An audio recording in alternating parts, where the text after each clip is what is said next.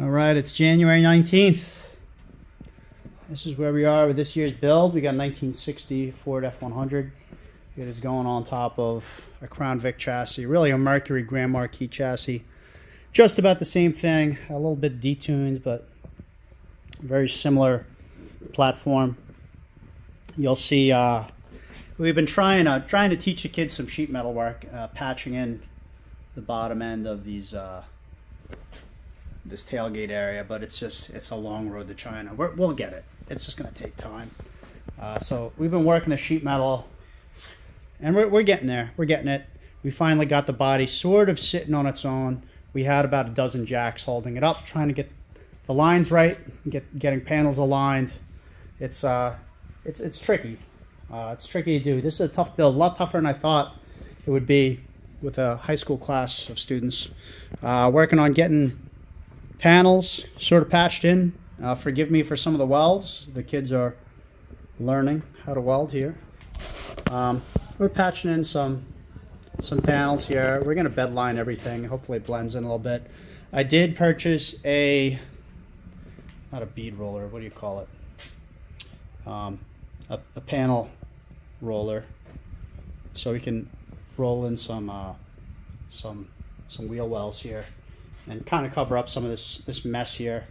We did go through some wiring. We cut out a whole bunch of wiring, but we probably have some more to do. Here's our interior. I know it's it's looking rough, uh, but you know, we're trying to get body panels aligned and then we'll start focusing a little bit more on this sort of thing. Uh, we made up some custom rocker panels out of some 16 gauge and uh, they've been getting welded in. We're working on getting some some panels in here. So we've been focusing a little bit on, on sheet metal work. This is actually of paper, but I have the kids forming up templates. And we're cutting those out and uh, getting things kind of tacked in place. I don't want to fully weld anything. I just want to get everything sort of tacked in place. The front clip is a little bit tricky. Um, we've had some issues with getting gaps lined up, but we're, we're getting there. You see gaps are they're off or a little bigger on the top than we are on the bottom. But uh, getting the old blended with the new is always hard. And it's hard when you're doing this. We're really working out of wood shop here. You know, we don't have a lift or anything. Um, and it's one shop that we have in high school here for, for everything.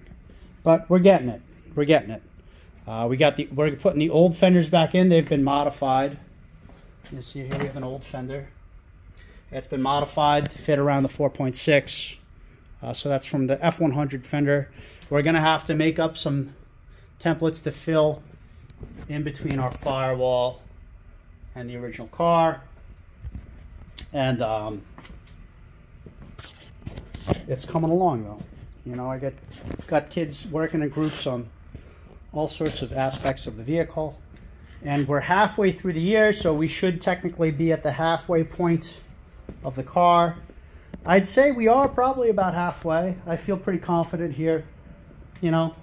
And um, if you look, the body line is like, it's getting there. It's down a little bit in the front, but that, that should be able to be closed.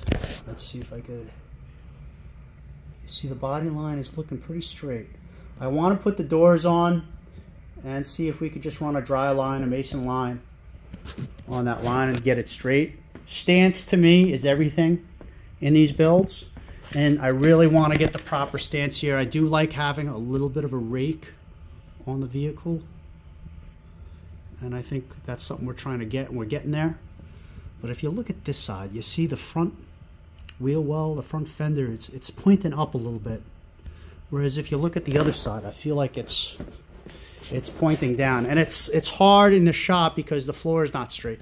I can't just measure off the floor and get an accurate measurement because we have a drain in the floor and uh, the floor slopes. But this body, when we got it, was rough, rough, rough.